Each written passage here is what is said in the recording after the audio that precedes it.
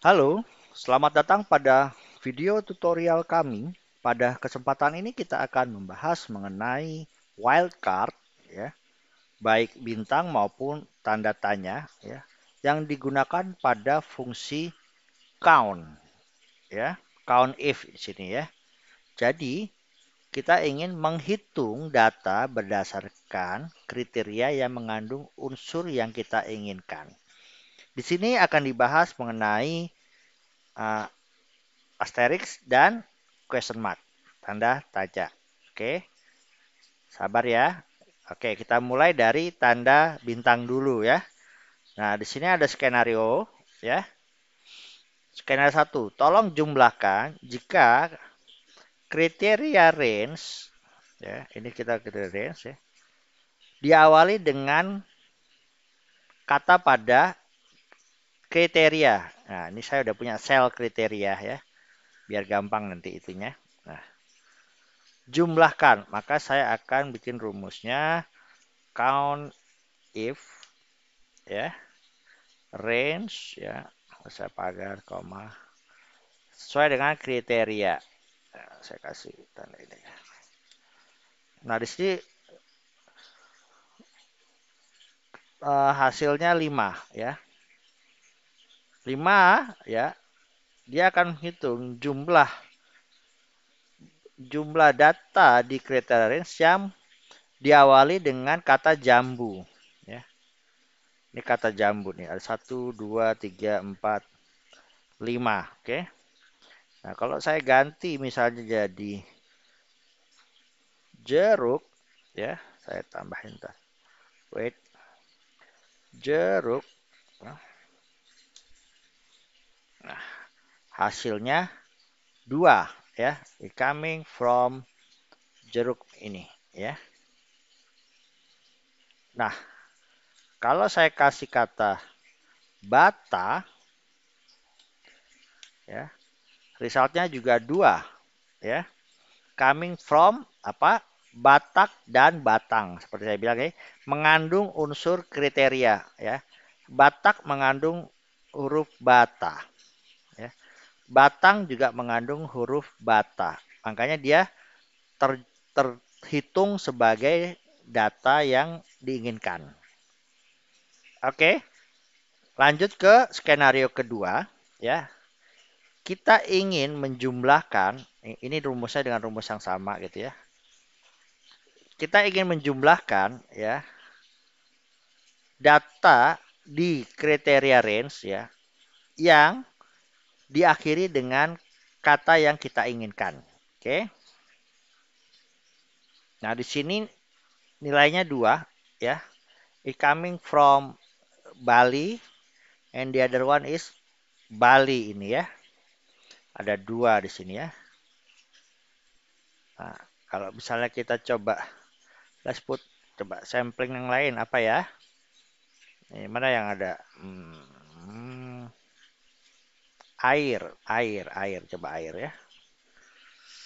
Ya, atau monyet, ya, monyet, air aja, air, air ya. Air, ada berapa? Ah, air satu ya. Karena yang diakhiri oleh air hanya satu, oke. Oke. Bisa dipahami ya. Nah, skenario yang berikutnya adalah saya ingin menjumlahkan berapa sih jumlah data yang mengandung ya kriteria yang saya inginkan. Mengandung itu berarti di tengah-tengah, di antara ya. Pokoknya ada di antara di antara sel inilah ya. Nih, misalnya oke, okay, saya ingin di antara berarti harus ada free karakter di sini ya. Dan karakter yang kita inginkan. Let's say satu dulu lah ya satu dulu. Eh.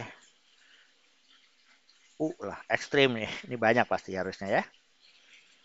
Ya yang ada u nya dar wis ada 11 oke. Okay. coming from kita cek ya.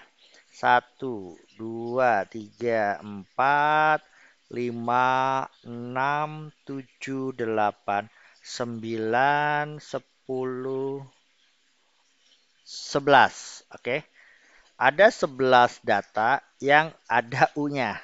Ya. Sekarang kita perkecil lagi ya. Nah, saya mau UK. Nah, UK. Jadi hanya tiga ya. Coming from satu dua. Mana satu lagi?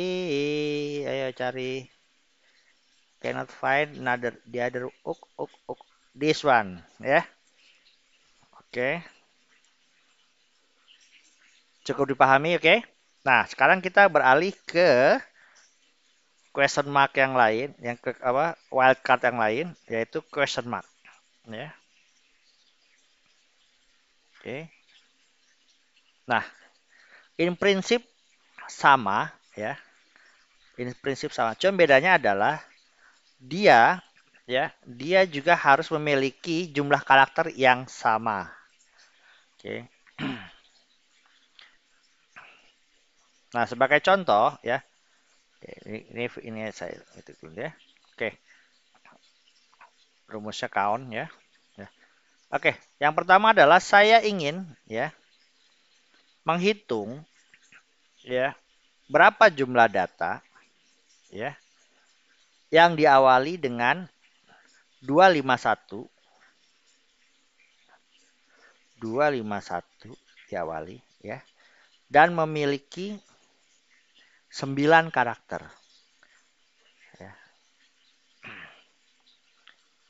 1, 2, 3, 4, 5, 6 ya.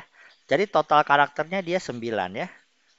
Ya, 3 tambah question mark 6 jadi 9. Resultnya 1. 1 coming from where? Coming only from this data ya. Starting with 251 then it has nine karakter in it. Oke. Okay? Nah, misalnya saya kurangin ya. Jadi 8. Ya. Hasilnya 2. 2 datang dari ini dan ini. Ya. Yang ini kenapa tidak? Karena ini berisi 6 karakter. Tidak sesuai dengan parameter yang menggunakan question mark. Jadi kalau question mark itu dia itu Pure akan mencari hanya data yang memiliki digit yang sesuai, which is 8 digit di sini ya. Nah, skenario kedua ya, kita ingin menghitung ya, berapa jumlah data yang diakhiri ya, dengan kriteria yang kita inginkan dan memiliki jumlah karakter yang sama. Misalnya saya ingin menjumlah mencari berapa sih jumlah data ya. Berapa jumlah data ya yang diakhiri oleh 1 2 3 4. Diakhiri oleh 1 2 3 4.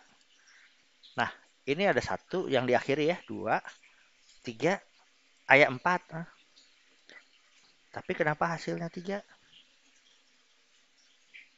Oh, karena kalau kita testing landnya ya, dia ini ada 8 karakter, maka hanya ini aja. Wispin 3, benar. Oke. Nah, cukup dipahami? Oke. Nah, skenario yang terakhir adalah kita ingin menghitung berapa jumlah data ya yang kita miliki di kriteria range gitu ya yang memiliki data di antara ya. Maka question mark-nya itu ada di depan dan ada di belakang. Misalnya saya pengen yang mengandung 51 ya ini 51 ah nah, terus free karakter lagi nah